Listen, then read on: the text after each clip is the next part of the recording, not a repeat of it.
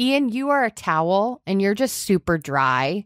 And Adal, you are the man using the towel and you sort of wish it had a little bit more personality. Ooh, all right, just grab this and give a little. So That- huh. I was telling you that I am uh, mostly Pima cotton. this again, Pima cotton. I don't even know. I don't care. Have you I'm had never a chance gonna. to make it out towards uh, Arizona at any point, Pima? Pima, Pima's literally- Arizona.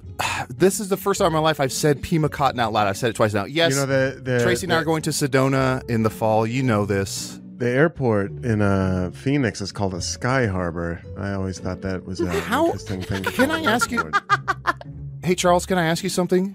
When Yeah, we leave the house, are you on the computer? What do you do? How do you know all this?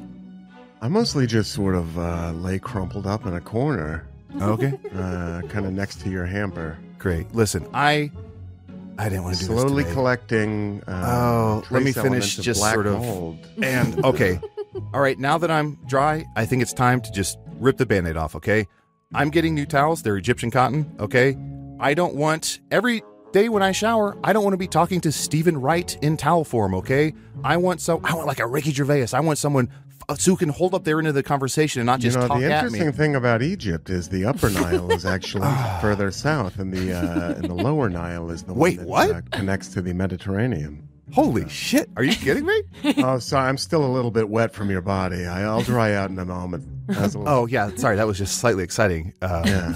I've never, I didn't know that. Okay, but yes, we are going to, and I'll leave it up to you. We can either toss you or take you to Salvation Army. I have to assume Salvation Army takes towels.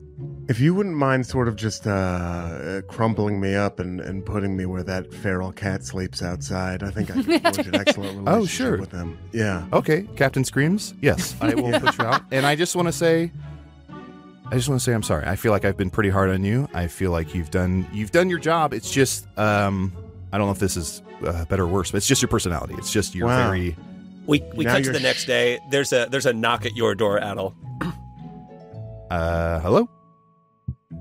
Hey man, uh, down here, you gotta stop leaving this crap out in my alley, man. This guy sucks. Hey, Captain You know, I The, the idea that cats have nine lives comes from, uh, Man, I can't deal with it. I can't deal with it.